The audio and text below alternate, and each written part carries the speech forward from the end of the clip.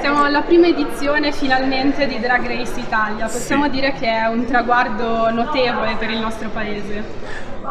Per noi è anche un punto di partenza, nel senso che non è finita qui, questo è solo l'inizio e, per, e che per, per, chi scopre oggi l'arte drag eh, è meglio che si allacci le cinture perché sentirà parlare molto di questa cosa. Noi siamo qua per fare rumore, giusto? Tanto rumore per rendere omaggio alla nostra Raffaella Carrà. Chiara?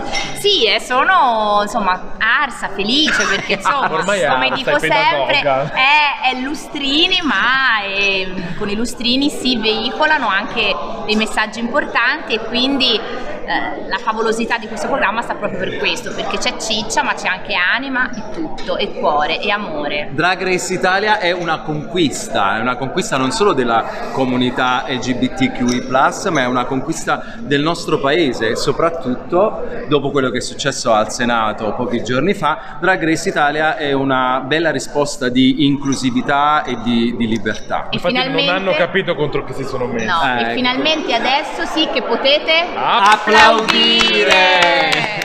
Perché vi presentiamo un'Italia di tutt'altro genere. E di cui potete andare finalmente fieri. Io credo che sia finito. Aspetta che c'è un'altra domanda. Già da adesso anche in conferenza stampa si vede la, la grande intesa che c'è fra di voi. Come non ci sopportiamo per niente. È tutta, è tutta finzione davanti alle telecamere. Ma... E Prozac.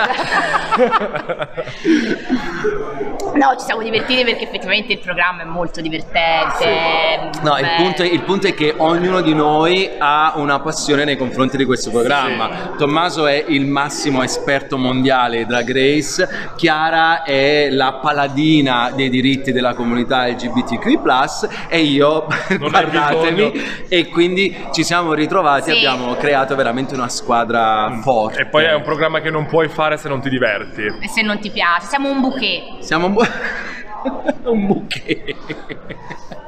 Chiusa. Chiusa così. Finita. Perché meglio di così non può venire un bouquet.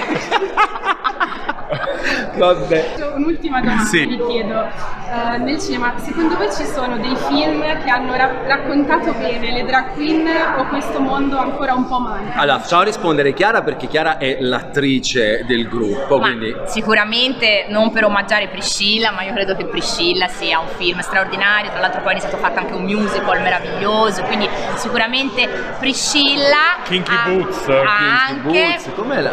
Però...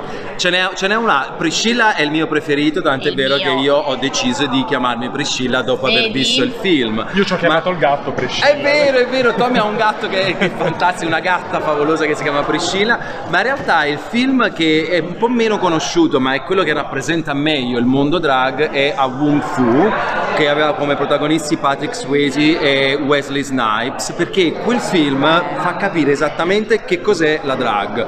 La drag viene vista inizialmente come un mostro che spaventa, ma poi quando viene conosciuta meglio è quella che ti dà i consigli giusti, che ti fa sentire libera, è una mamma. Quindi quel film raccoglie l'essenza della vera drag, che è, non è altro che divertimento e vita.